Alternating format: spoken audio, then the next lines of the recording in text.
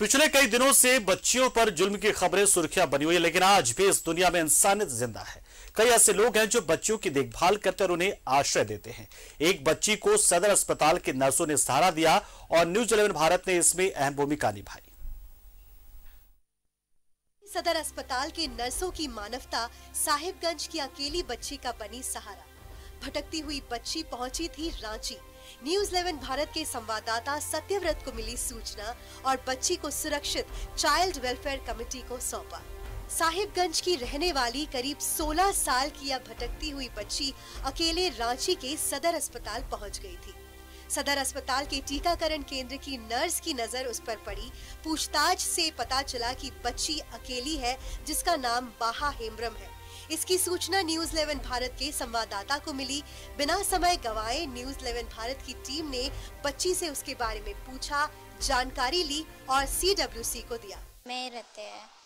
तो जब हम बीमार होते तो मेरे नानी हमको मतलब दवाई सब नहीं देते थे खरीद के। इसीलिए मुझे घर में रहने का मन नहीं किया।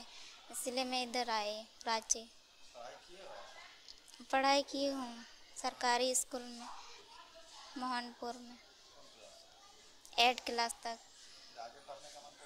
जी। आगे पढ़ाई करके कुछ नौकरी सब ढूंढेंगे। बनना तो मुझे नर्स जी। दरअसल बच्ची के माता पिता कोई नहीं है साहिबगंज में। बच्ची अपने मामा के साथ रहती है, जो आर्थिक रूप से कमज़ोर है। बच्ची ने कहा कि वो पढ़ना चाहती है और पढ़कर नर्स बनना चाहती है ताकि मरीजों की सेवा कर सके और अपना परिवार चला सके। मोहनपुर में आठवीं क्लास तक पढ़ाई कर चुकी बच्ची आगे भी पढ़ना चाहती है। जो नंबर दिया गया उसे कांटेक्ट किया और बच्ची को हमने प्राप्त किया।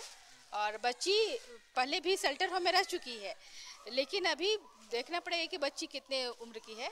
मैं तो चाइल्ड लाइन से हूँ और हमारे अंतर्गत ज़ीरो से 18 साल की उम्र तक के बच्चों के लिए चाइल्ड लाइन काम करती है। और जब कभी भी हमें इस तरह से मिलती है तो हम पहले एज वेरीफाई करते हैं कि वो कितने साल के हैं। उसके बाद फिर उस पर हम लोग कार्य करते हैं। हाल के दिनों में राज्य के बेटियों पर अत्याचार की घटना बढ़ी है।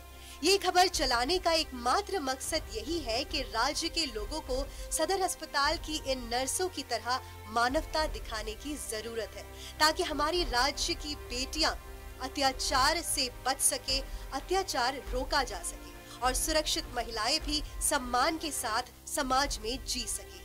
रांची से न्यूज़ 11 भारत के लिए सत्यव्रत किरण की report.